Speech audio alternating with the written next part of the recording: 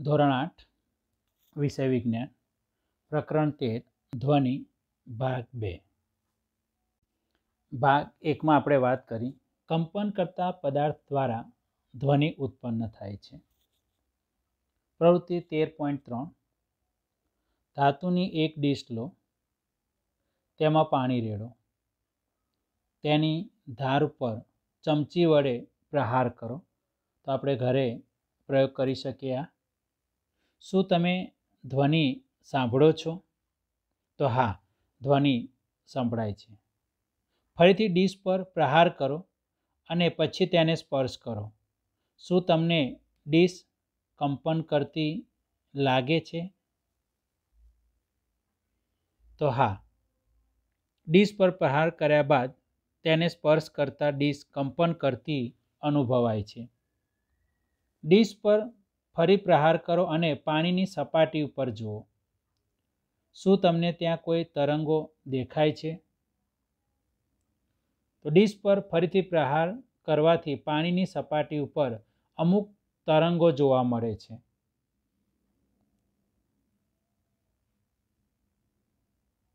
Dish પર ફરીથી પ્રહાર કરો અને પાણીની સપાટી ઉપર જુઓ.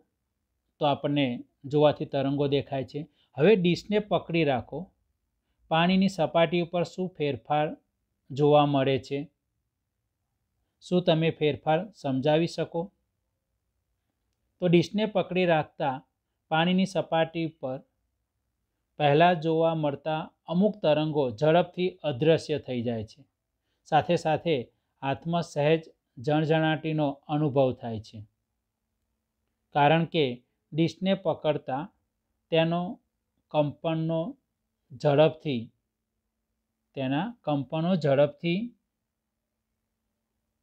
ઘટવાથી ધીમા થઈ બંધ પડી જાય છે અને તેથી તેમાંથી તરંગો ઉદ્ભવતા બંધ થાય છે. પરિણામે પાણીની સપાટી ઉપર તરંગો જોવા મળતા નથી.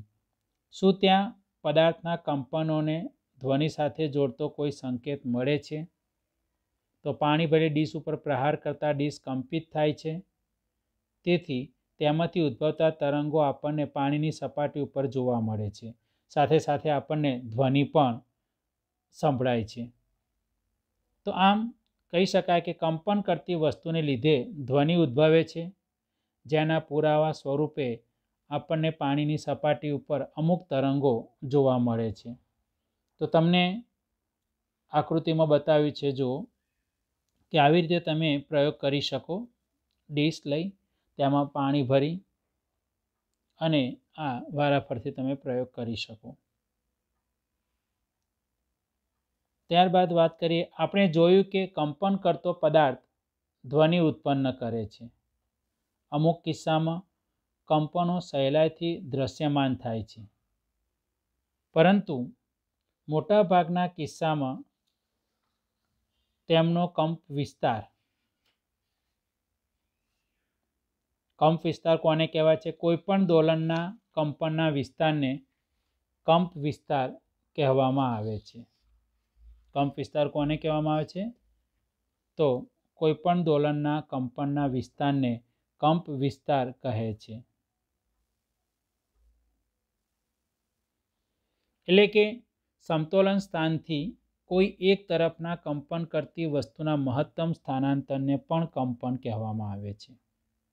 સમતોલન સ્થાનથી કોઈ એક તરફના કંપન કરતી વસ્તુના મહત્તમ સ્થાનાંતરને કંપ વિસ્તાર કહેવામાં આવે છે. તો આ કંપ વિસ્તારની વાત કરી. ખૂબ જ નાનો હોવાથી આપણે તેને જોઈ શકતા નથી. તેમ છતાં આપણે તેને અનુભવી શકીએ છીએ. તો આપણે અનુભવી શકીએ છીએ પણ જોઈ શકતા નથી. પ્રવૃત્તિ તેર પોઈન્ટ ચાર. એક પોલા નાળિયેરનું કાચલું લો. તો તમને એક તારો બનાવવાની વાત કરી છે કે કેવી રીતે એક તારો બનાવી શકાય. અને આપણે કેવી રીતે એની અંદર ધ્વનિ ઉત્પન્ન કરી શકીએ તેની વાત કરી છે. જુઓ, તો આ પ્રમાણે અહીંયા આ એક પોલા નાળિયેરનું કાચલું લીધેલું છે. અને એક સંગીત વાદ્ય એક તારો બનાવો. માટીના ઘડાની મદદથી પણ તમે તે બનાવી શકો. આ વાદ્ય વગાડો અને તેના કંપન કરતા ભાગને ઓળખો. તો આપણે વગાડીશું અને એના ભાગોને જો ઓળખીશું, તો ખ્યાલ આવશે આપણને કે આ જે તાર છે, તારની અંદર ધ્રુજારી થવાને કારણે, તેમાં કંપન થવાને કારણે આપણે ધ્વનિ સાંભળી શકીએ છીએ. તો એવી જ રીતે તમે પરિચિત હો તેવા સંગીત વાદ્યોની એક યાદી બનાવો અને તેમના કંપન કરતા ભાગોને ઓળખો. તો તમને બતાવેલું છે કોષ્ટકની અંદર. તો તમે ટેબલની અંદર આ લખી શકો. સંગીત વાદ્ય ધ્વનિ ઉત્પન્ન કરતો, કંપન કરતો ભાગ. તો વીણા. તો એની અંદર કંપન કરતો ભાગ તણાયેલી દોરી કે જેના કારણે ધ્વનિ ઉત્પન્ન થાય છે. તબલા તો ખેંચાયેલી સપાટી મેમ્બ્રેન તરીકે ઓળખીએ છીએ, જેમાં ધ્રુજારી થવાને કારણે ધ્વનિ ઉત્પન્ન થાય છે. વાંસળી તો હવાનો સ્તંભ જેને કારણે ધ્રુજારી ઉત્પન્ન થાય છે. એ પ્રમાણે બીજા તમે લખી શકો. વાયોલિન તો તણાયેલી દોરી અથવા તો તાર, ઢોલક, ખેંચાયેલી ત્વચા, શરણાઈ, હવાનો સ્તંભ, આરતી કરતી વખતે વપરાતો ઘંટ અથવા તો ઘંટડી. તો ઘંટ અથવા ઘંટડીનો બહારનો પતરા જેવો ભાગ કે જેના ધ્રુજારીને કારણે આપણે એની અંદર અવાજ ઉત્પન્ન થયેલો જોવા મળે છે આપણને. ત્યારબાદ ડ્રમ. તો ખેંચાયેલી ત્વચા અથવા તો ચામડાનો પડદો જેને કહીએ છીએ, એના દ્વારા. મંજીરા તો પતરા અથવા તો પતરા વડે બનેલી વસ્તુ. તો આવી રીતે સંગીત, વાદ્યો અને ધ્વનિ ઉત્પન્ન કરતો, કંપન કરતો ભાગ જેની આપણે ચર્ચા કરી. તો તમારે જે સમજાવ્યું તે તમારે અહીંયા લખી શકો તમે. તમારામાંથી ઘણાએ કદાચ મંજીરા, માણ માણ એટલે શું? માણ એટલે સાંકડા મોઢાવાળો માટીનો ઘડો જેને માણ તરીકે ઓળખાય છે. તો માટીના ઘડા અને કરતાલ જોયા હશે. ભજનમાં આપણે મંજીરા જોતા હોઈએ છીએ, આપણને ખ્યાલ છે. આ વાદ્યો સામાન્ય રીતે દેશના ઘણા ભાગોમાં ઉપયોગમાં લેવાય છે. આ સંગીત વાદ્યોને ફક્ત ટીપવામાં કે અથડાવવામાં આવે છે. તમે આના જેવા જ બીજા સંગીત વાદ્યોના નામ આપી શકો. તમે પણ એક સંગીત વાદ્ય બનાવી શકો. તો તમને અહીંયા માણ બતાવેલું છે, જુઓ. કે જે સાંકડા મોઢાવાળો માટીનો ઘડો છે. નીચે મંજીરા બતાવેલા છે.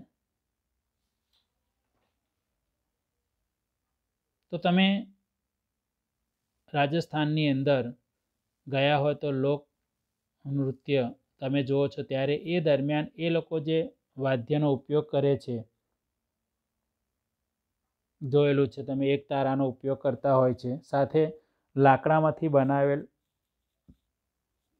બે પટ્ટી કે જેની મદદથી એની અંદર ધ્રુજારી ઉત્પન્ન કરીને સંગીત વગાડતા હોય છે.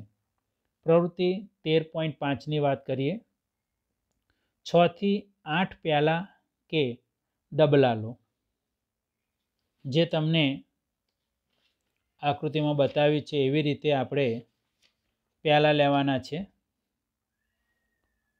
જો આ પ્રમાણે.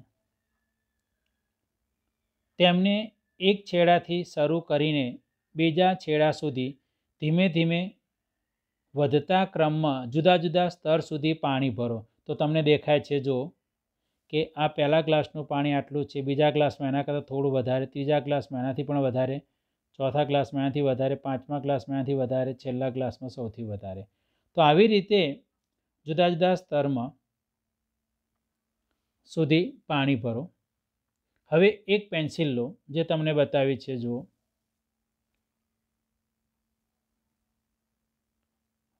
અને નર્મ નર્માસથી હળવેકથી પ્યાલા ઉપર પ્રહાર કરો. એટલે કે અફડાઓ જે તમને બતાવ્યું છે તે પ્રમાણે. એક પછી એક બધા ઉપર પ્રહાર કરો. તમને કર્ણપ્રિય ધ્વનિ સંભળાશે. આ તમારું જલ તરંગ છે. તો આવી રીતે આપણે જલ તરંગ બનાવી શકીએ. તો જલ તરંગની વાત કરી.